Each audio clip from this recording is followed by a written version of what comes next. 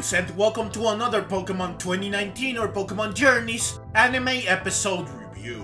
This time, I am talking about episode 145, which is episode 9 of Aim to be a Pokemon Master. So, let's get to it.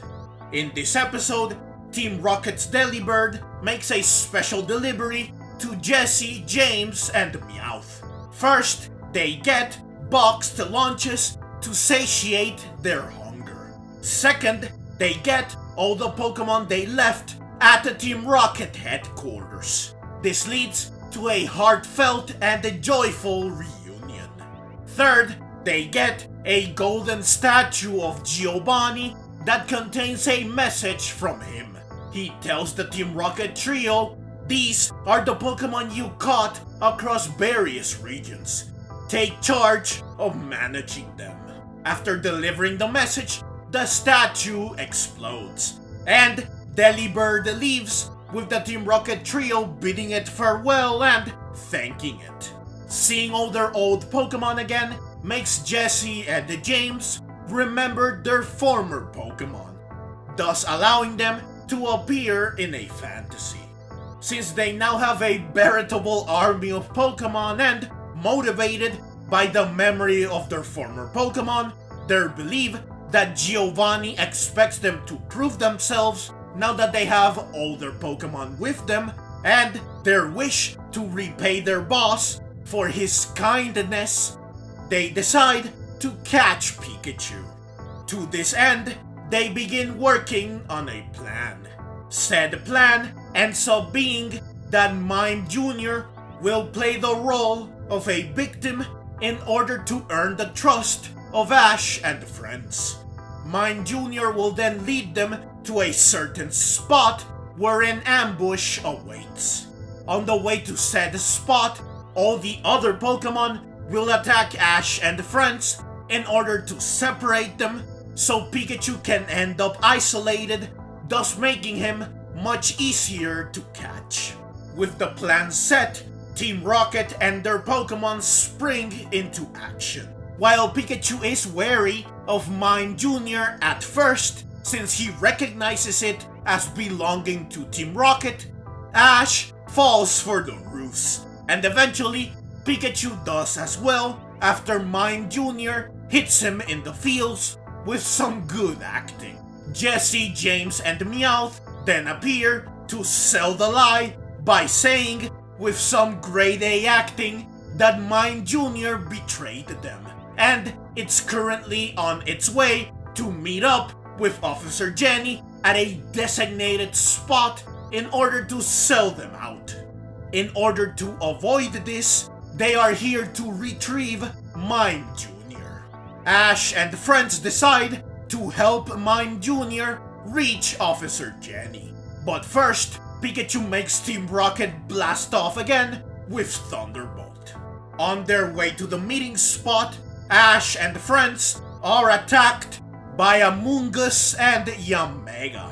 Amoonguss uses Spore, but Brock sends out his Ludicolo, who uses Water Gun, to repel the attack.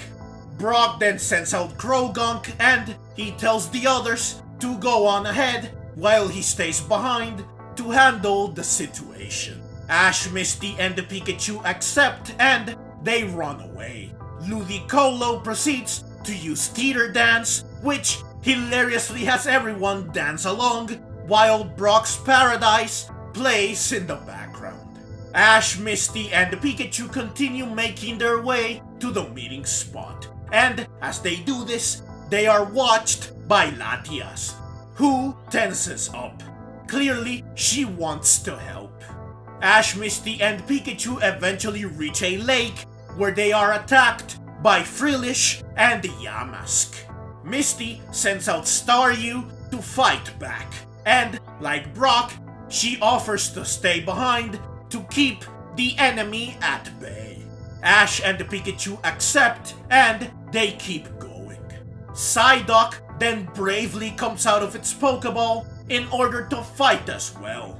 But its bravado is ended prematurely by Yamask, who tosses its mask at Psyduck, who ends up hilariously running in circles and crashing into Staryu, much to the delight of Frillish and Yamask.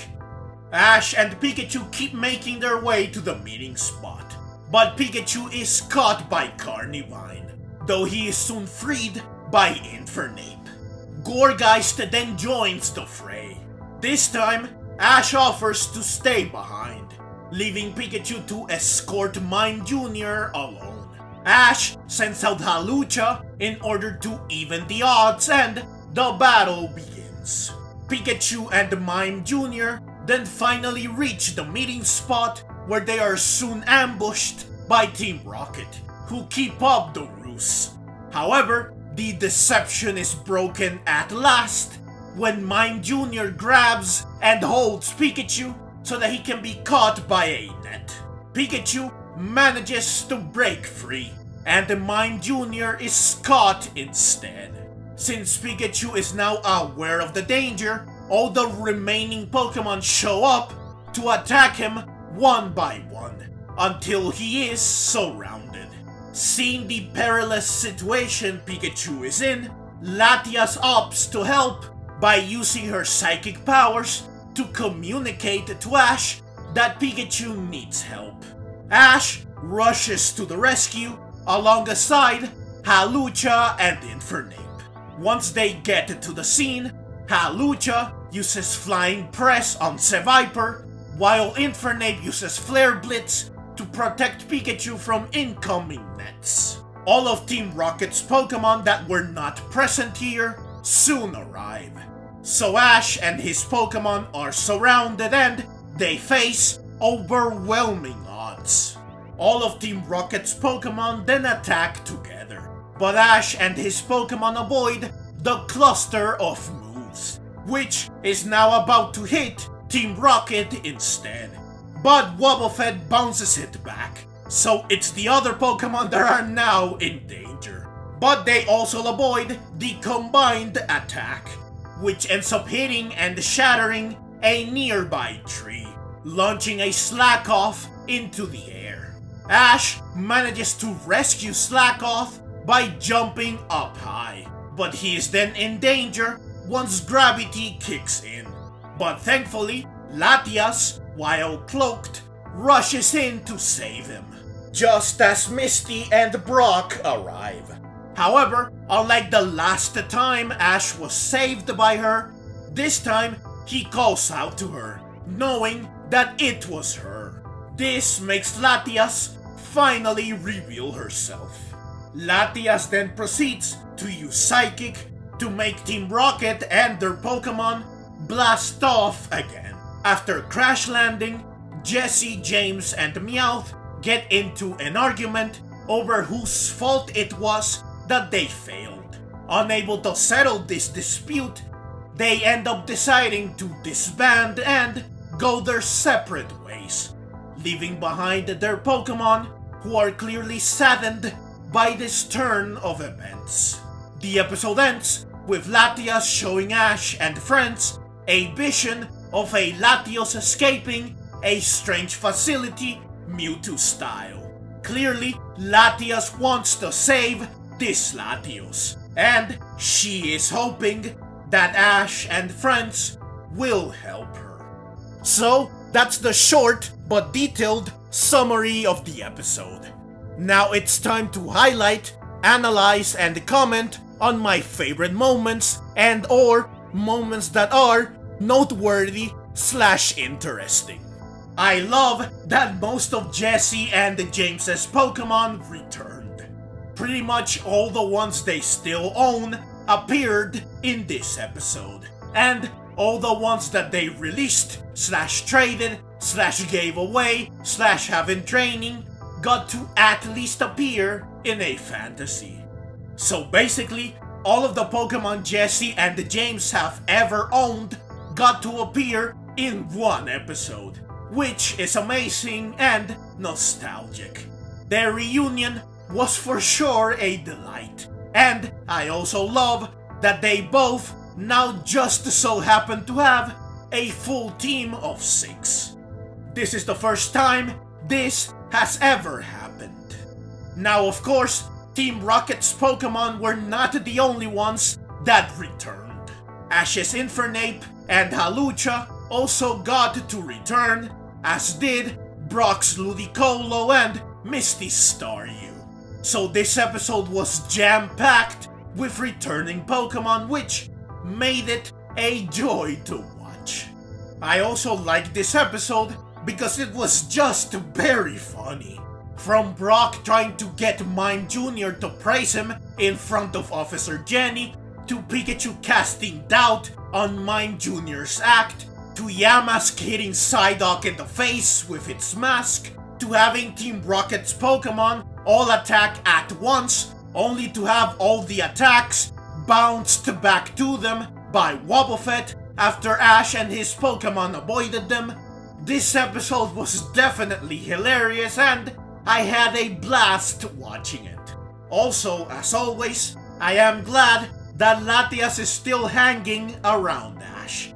Though this time, she not only saved Ash again, but Ash finally realized that she is around, thus forcing her to reveal herself at long last, which allowed her to dispatch Team Rocket and to tell Ash and friends about Latios who is in danger.